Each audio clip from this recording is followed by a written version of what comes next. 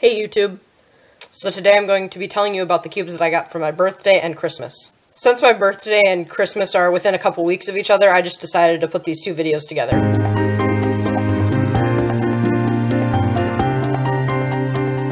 And as you can see, I only have a couple cubes out in front of me, and that's because I actually only got three cubes for uh, my birthday and Christmas.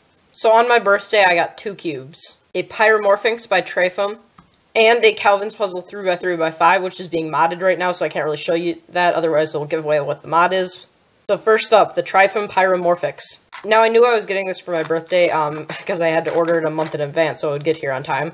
But yeah, I was still in awe when I opened this. Before I even turned it, I just, like, admired how nice the stickers looked and how perfect the painting and build quality was. I was just amazed. And then I went to turn the puzzle, and things just got better from there. The turning is definitely better than the WIT 2v1 that I use as my main 2x2. I can't say as much about the corner cutting. I mean, it's decent, but it's definitely not 45. It's still pretty good, though. And the reverse isn't lacking either.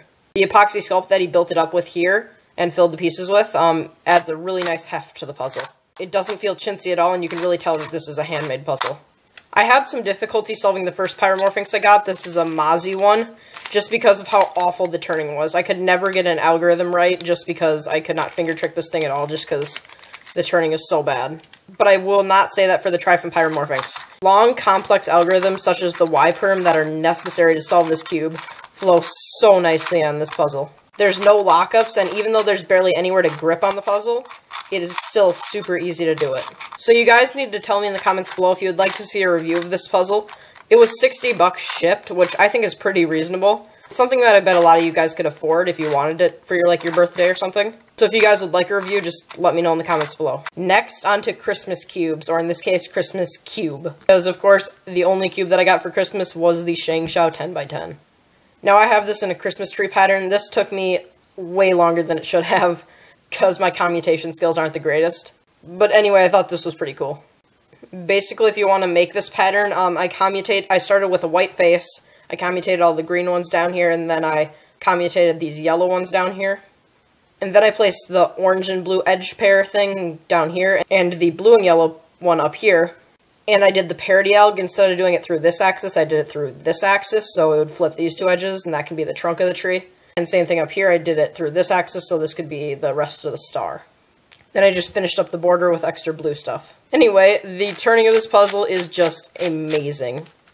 Super smooth with a slight kind of crunchy feeling. The corner cutting on this puzzle is also really nice. You can see that if I offset each layer by a slight amount, it can cut through it really easily.